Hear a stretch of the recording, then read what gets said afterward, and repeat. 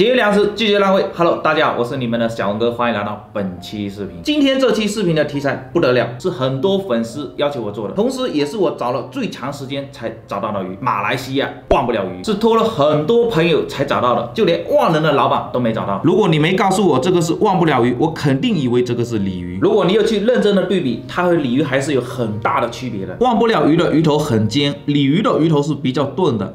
而且它左右两边各有两根长胡须，鱼头与背的连接处呈现小驼峰，比鲤鱼跟草鱼高很多。还有就这个鱼鳞一片一片的，特别大。它这个鱼鳞也是可以吃的，和我们之前做的这条大青衣的鱼鳞一样的做法，就非常的好吃。另外忘不了鱼还有明显的鱼肚腩，虽然说去了内脏，但是还是挺明显的。很多小伙伴可能不知道为什么要去内脏，因为卖家说这个是纯天然进口的，为了保证鱼的这个新鲜度，所以要把这个内脏给去掉。你们别小看它这么小，而且其貌不扬。就这么一条三点二斤，加上运费两千块钱，就这个身价，是不是应该给他点个赞？你们觉得它值不值十万赞？不过好像也不是很贵哈，一斤也就六百块钱，跟我们这条野生大黄鱼对比一下，它还是。差了点意思，单价也就野生大黄鱼的一半。不过据说活的到国内一斤要好几千块钱，为什么会这么贵呢？我觉得吧，还是因为它稀少，而且这种鱼喜欢吃风车果，所以当你吃它时，有一种特殊的果香味，被誉为马来西亚的十大淡水鱼之首。不过今天咱们这条鱼太小了，只能被称为鱼仔，三公斤以上的才能被称为大鱼。据说五公斤到十公斤是最好吃的，但是吧，我觉得应该会吃到我破产啊，所以咱们只能吃这个鱼仔了。不过现在市场上养殖的也很多，而且还。便宜一斤就几十块钱，养殖的跟这个野生的很好辨认，鱼鳞的颜色没这么深，偏亮。其实吧，忘不了鱼在印尼也有，但是在马来西亚的才正宗，而且还要在拉浪江上流加比和下流巴拉加两段的才好吃，因为只有这个地方才有风车果吃。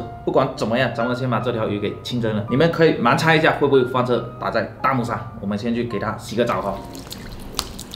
这鱼虽然是淡水鱼，但是它的肚子好干净啊，一点黑膜都没有，跟我们昨天做的那个墨绿水一样的，肚子里面很干净。但是它这个鱼鳃好像还没去，我们要把这个鳃去一下。看这个鳃就知道这个鲜度一般般了，毕竟这个鱼好几天了，有点发白了。像这种吃草跟水果的鱼，它的嘴巴里都没有牙齿，它的牙齿都长在喉咙这个部位。接下来把这个鱼鳞给弄下来啊，好像这个鱼鳞只要用抠就能抠得下来，你看。哇塞！你看这个鱼鳞好大片啊，而且都是软的，跟那个塑料一样，比我们之前做的那个十几斤的大青衣的鱼鳞感觉还要大，怎么跟剥皮鱼剥皮一样啊？我觉得这个应该是冰冻过，然后才会这样子剥落下来。如果是新鲜的，肯定这样子剥不下来，要清蒸完以后才能把鱼鳞拿下来。这个挖下来的都是钱啊！你们有没有见过徒手挖鱼鳞的？这个鱼鳞真的又大又软，而且冰冻一下真的很好挖。可以了，这里面都是钱呐，给它冲洗一下，由我来做油炸薯片。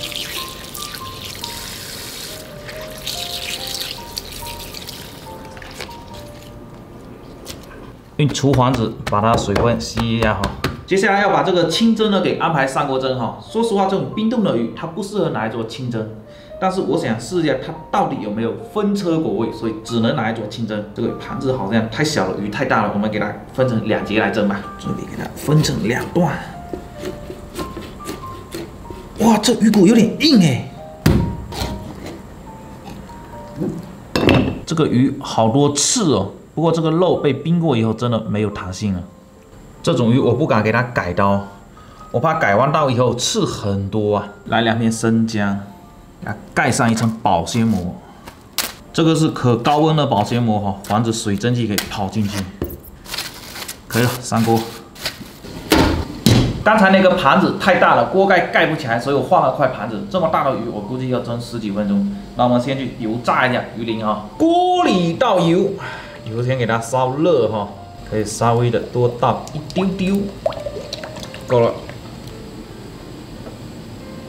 先来一遍试一下油温，哎，油温差不多可以了，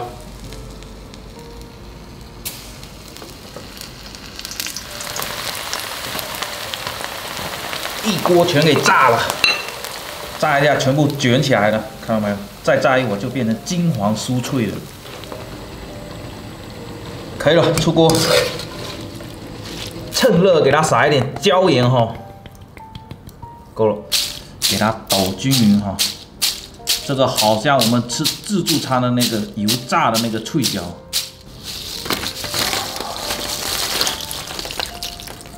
锅热倒油。油可以多来一点哈。来点三丝彩椒小葱大葱淋上热油。倒上蒸鱼豉油。哇香味扑鼻呀。哇，非常熟悉的味道啊，但是没有闻到果香味啊，有点失望啊。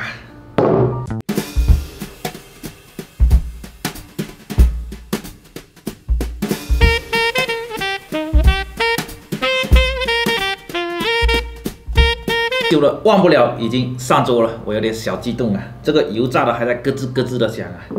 来杯八二年的青红酒润润喉哈。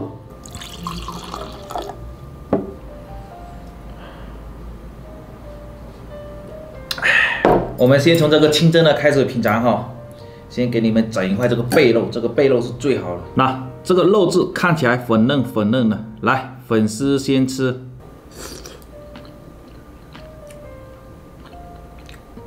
翻车了，这个口感完全没有想象中的那种嫩滑的口感，反而是鱼肉到嘴巴里就散掉了，而且总感觉它的油脂不够丰富。据说它有没有风车果的味道，我不知道，因为我没有吃过风车果，但是它确实有一种淡淡的特殊的香味。接下来试一下鱼腩这个部位哈，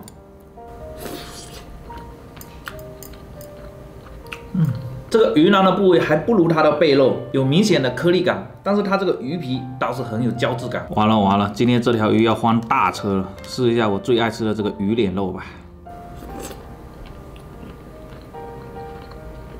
不行不行，整条鱼的口感都差不多，我不知道是不是这个冰冻过的原因，真的口感很差哎。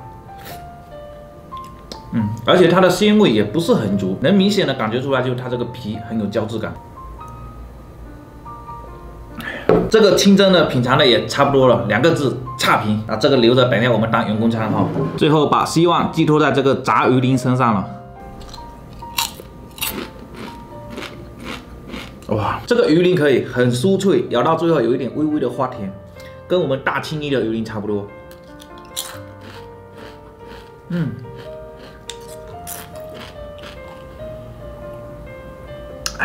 这个好吃啊，来下酒非常好。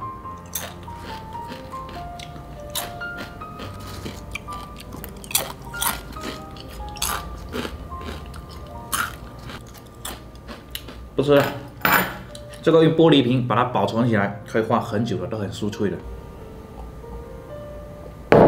OK，那我们现在来做个总结。这个鱼不管从哪个角度来看，我觉得它都不值这个钱，而且也没有达到很惊艳的那种程度。当然，也有可能是因为冰冻的原因，导致了它的鲜甜味不足，口感不足。但是话又说回来，如果这个鱼真的非常的惊艳，哪怕是冰冻的。它的味道也不会这么差，所以呢，有机会我一定要去马来西亚试一下这个真正的忘不了鱼。今天这条鱼翻大车了，这个身份有待考验啊。那么这期的视频就做到这里，记得三连走一波，我们下一期再见，拜拜。